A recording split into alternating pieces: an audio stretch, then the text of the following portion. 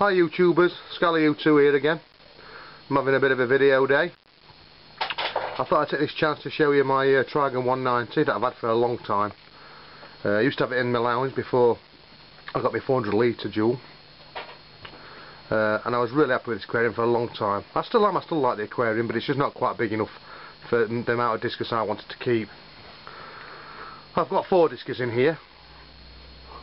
I've also got some neon uh, not neon tetras, cardinal tetras, lemon tetras, rummy nose tetras. I've got some nice ice clown loach, but they're hiding at the moment. Uh, I've got three shrimps in here, so are they, they're hiding. Uh, I've got some Corydoras, they're somewhere knocking around. You can perhaps see, I don't know you can see a shrimp at the back there, right at the bottom. I'll see if I can zoom in. I don't know whether I'm able to see him or not. He's just, if you look at that fish's nose, he's just there, can you see him?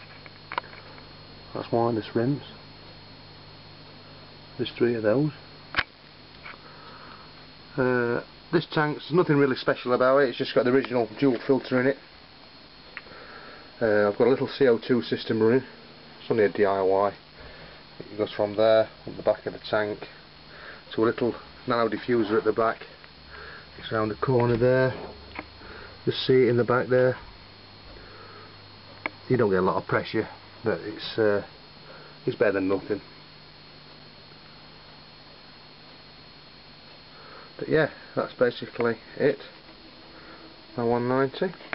Well, I did have a little bit of a catastrophe not long ago. The light that came with the system, it broke, the ballast broke, and you can't really amend them. They're uh, sealed in these units.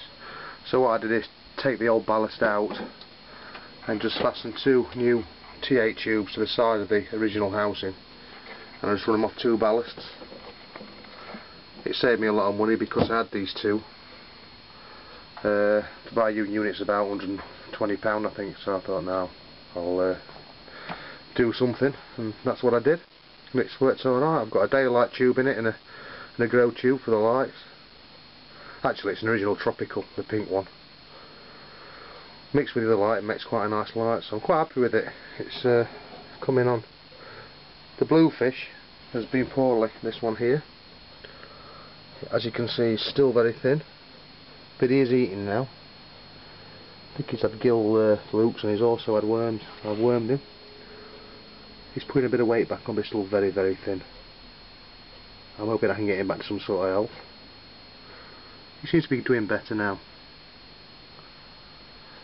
he went really dark and he just was stopping in the corner, he wasn't swimming around. And since I wormed him, he's, he seems to be coming back round. And his eyes went dull. They are still quite dull. But we'll see. I've had him out a very long time actually, he's quite an old discus, but that's not the point. We don't want anything happening to him. I think I might have just caught him in time. His fins are all open, he's looking a lot better. So yeah, if you've got any questions you'd like to ask me or if you can help me with anything, contact me at Scally2. Sub me, I'll uh, sub you back. That's about it then. Cheers. Happy fish keeping.